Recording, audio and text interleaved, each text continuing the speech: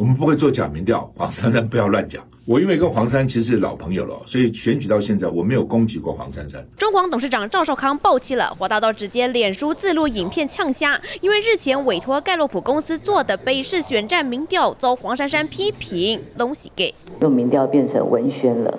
他已经不是单纯的民调，而是故意用操作的方式。那我们花了很多钱委托盖洛普做民调，盖洛普会做假民调吗？盖洛普以前做郝龙斌、费鸿泰、赖世宝，甚至朱立伦跟尤其坤那次的民调。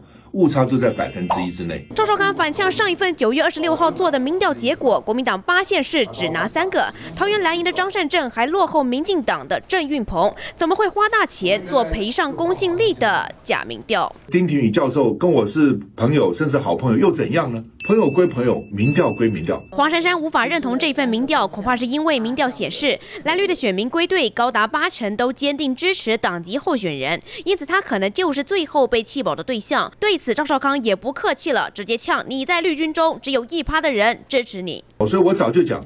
不会弃黄保成，也不会弃成保华。支持黄山有六趴国民党人，最多只是六趴稍微转移，那也影响不了大局了。现在民调满天飞，然后个别的数字都差得天差地远。我觉得选民可以用很客观的观念去看，所以我没有指出任何人，所以也不需要对号入座。一份民调意外让赵寿康也卷入北市蓝绿白战场。记者我林家县施佑伟采访报道。